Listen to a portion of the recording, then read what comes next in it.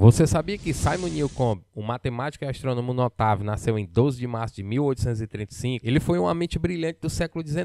Newcomb calculou a velocidade da luz com incrível precisão e refinou as tabelas de movimento planetário. Suas contribuições para a astronomia moderna é imensurável. Além disso, ele também se destacou em matemática pura e estatística. Seus trabalhos sobre funções elípticas e aproximações numéricas ajudaram a moldar muitas áreas das ciências e da tecnologia. Simon Newcomb deixou um legado duradouro na exploração do cosmos e no avanço avanço do conhecimento humano, a matemática sempre nos surpreendendo.